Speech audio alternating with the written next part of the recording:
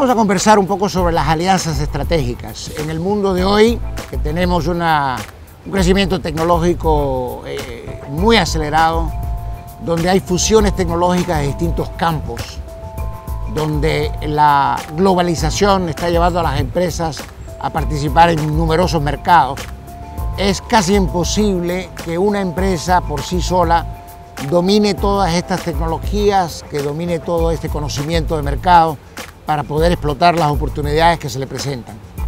Entonces, por lo tanto, eh, una de las soluciones que las empresas han encontrado es el crear una serie de alianzas con otras empresas que tengan los activos y las capacidades complementarias para poder desarrollar estos mercados de forma eh, conjunta.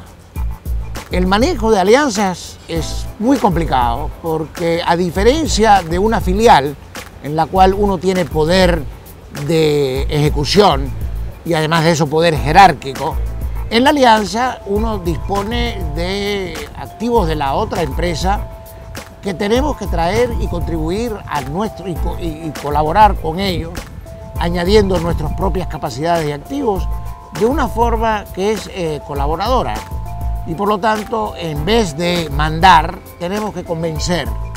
Y para convencer tenemos que tener argumentos que creen valor conjunto de ambas partes.